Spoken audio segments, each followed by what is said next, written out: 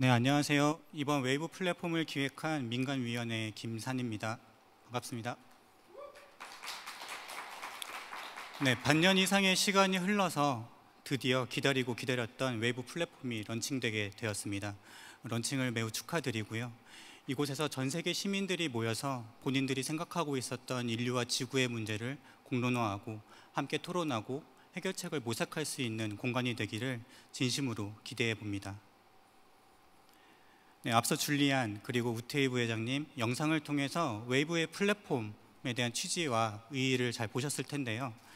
어, 간단하게 좀 정리해 보면 웨이브는 국가와의 경계를 넘어 전 세계의 수요자, 공급자가 연결되고 지구 인류의 공통 이슈를 누구나 쉽게 공론화하고 함께 솔루션을 만드는 개방된 플랫폼입니다.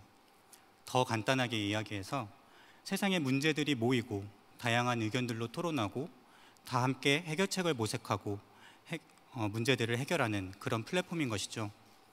자, 그럼 사이트로 한번 들어가 볼까요?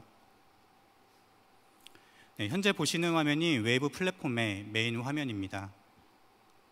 웨이브는 이렇게 지구를 변화시키고자 합니다. 라는 메시지 밑으로 다양한 컨텐츠들이 나열되게 되는데요. 이 컨텐츠들은 실제 전 세계 시민들이 직접 발제한 컨텐츠들이 주기적으로 올라오는 컨텐츠들입니다.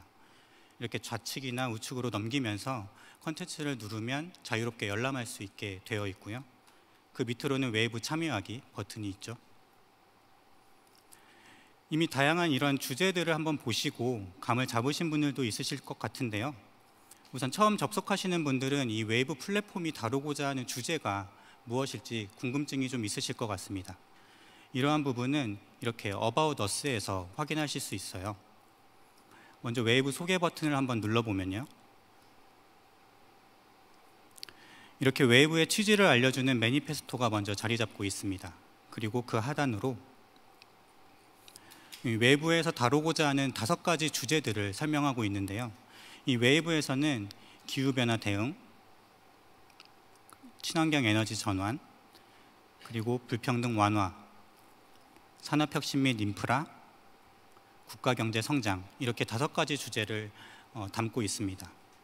이 다섯 가지의 주제는 어, 유엔에서 직접 지정했던 지속, 어, 지속 가능 발전 목표 17가지의 주제를 추려서 어, 다섯 가지로 압축해서 저희가 다루고 있는 건데요.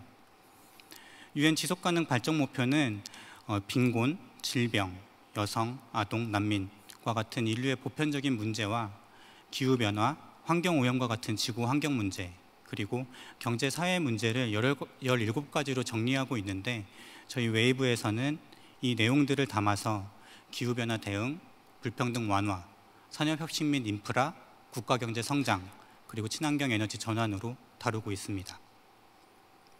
자, 다시 메인 화면으로 돌아와서요. 이 웨이브 플랫폼은 한영 두 가지 버전을 제공하고 있습니다. 이렇게 우측 상단에 들어와서 영어 버전을 클릭하게 되면 이렇게 영문 버전을 동일하게 경험하실 수 있고요. 네, 국문으로 다시 돌아와서 이 메인 화면을 다시 한번 설명드리도록 하겠습니다.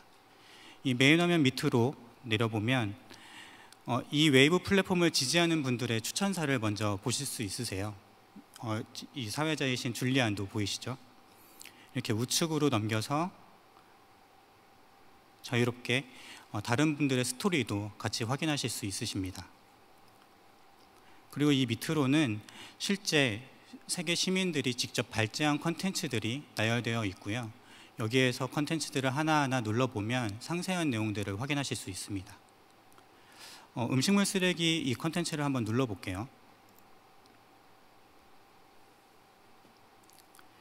네, 누르게 되면 이렇게 제목에 따른 발제자가 올린 주제들을 상세한 내용으로 확인하실 수 있는데 먼저 텍스트로도 이야기를 들으, 확인하실 수 있고 어, 이 발제자가 이미지나 사진, 첨부 자료들을 첨부했다라고 하면 그 밑으로도 넘겨가면서 더 자세한 내용들을 확인할 수 있습니다. 그리고 이 글을 본 사람들은 자신의 감정들을 이렇게 버튼으로 표현할 수 있고요. 이 하단 밑으로 다양한 의견들이 제시되었다라고 하면 이렇게 다양한 의견들을 그 밑으로 확인하고 본인도 의견을 작성할 수 있습니다. 만약 여러분들도 의견을 제시하고 싶으시다면 이 하단에 있는 솔루션 또는 의견 제안 버튼을 누르면 되는데요. 이렇게 누르면 보고 있던 화면에서 바로 의견을 작성할 수, 작성할 수 있는 영역이 뜨게 됩니다. 텍스트를 남길 수도 있고 동일하게 이미지나 영상 등도 첨부할 수 있어요. 예를 들어서 제가 이렇게 글을 남겼다라고 하면 이 글, 글에서 솔루션 제안하기 버튼을 누릅니다. 네, 누르면 해당 컨텐츠의 하단 그리고 최신 순으로 제가 작성한 의견들이 나열되게 됩니다. 네, 그러면 직접 발제자가 되어서 웨이브에 참여하는 프로세스를 설명드리도록 하겠습니다. 어, 참여하는 방식은 이렇게 웨이브 참여하기 버튼이나 계속해서 따라다니는 메뉴, 우상단에 있는 메뉴를 누르면 되는데요. 이렇게 웨이브 참여하기 버튼을 누르면 먼저 주제의 범위를 선택하는 공간이 뜨게 됩니다. 어, 글로벌, 전 세계 시민들이 웨이브 플랫폼에서 다양하게 의견을 구하게 될 텐데요. 자신이 발제하는 의견이 이 글로벌 대상으로 의견을 구하는 것인지 아니면 본인이 속해 있는 국가, 국민들에게 의견을 구하고 싶은 것인지 아니면 더 좁혀서 자신이 살고 있는 마을이나 지역, 네트워크를 활용해서 의견을 받고 싶다라고 하면 자유롭게 선택을 해서 의견을 제시할 수 있습니다. 저는 글로벌을 한번 눌러볼게요. 그리고 다음. 그리고 이어서 어떤 주제들을 세부적으로 작성할 것인지에 대해서 선택하게 나오는데요. 앞서 말씀드렸던 다섯 가지 주제를 저희가 아홉 개의 키워드로 구분을 먼저 해놓았습니다.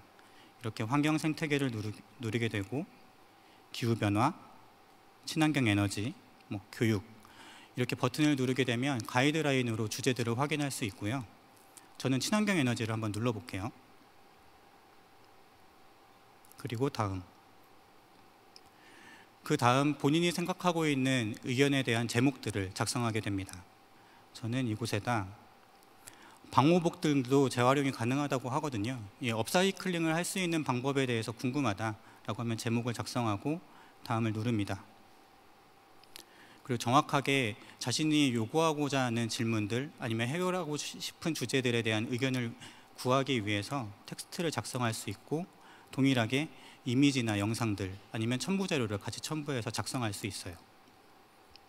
제가 이렇게 글을 작성했다라고 가정하고 저장하고 미리 보기를 누릅니다. 이 미리 보기는 웨이브 사이트에 직접 올라오는 컨텐츠 유형을 확인할 수 있는 거고요. 본인이 수정이 필요하다라고 하면 수정 버튼을 누르면 되고 그다음 완료가 되면 제출하기 버튼을 누릅니다. 그렇게 되면 웨이브 목록에 본인이 작성한 글이 뜨게 되고 이렇게 컨텐츠에 참여하게 되는 것이 완료가 되는 프로세스입니다. 네, 지금까지 웨이브 플랫폼에 대한 전반적인 내용과 그리고 참여 프로세스에 대한 설명을 드렸습니다. 어, 저는 웨이브가 지향하는 철학과 비전에 대해서 한 번만 더 정리하고 어, 자리를 내려올까 하는데요.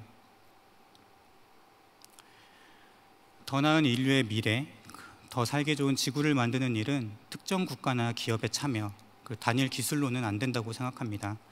우리의 관심과 참여, 지지가 모이고 축적된다면 극복할 수 있을 것이라고 믿습니다. 웨이브는 솔루션 플랫폼이에요. 지구와 인류의 문제들에 대해서 전 세계인들, 일반 시민뿐만 아니라 기업, 기업가, 정부, 정치인, 전문가, 지식인 등 각계각층의 다양한 사람들이 모여서 실질적인 솔루션을 만들어냅니다. 크고 작은 물방울이 모여서 큰 파도를 만들듯 전 세계 크고 작은 목소리가 모여서 거대한 물결을 만들기를 진심으로 소망하겠습니다. 웨이브에 참여해 주세요. 감사합니다.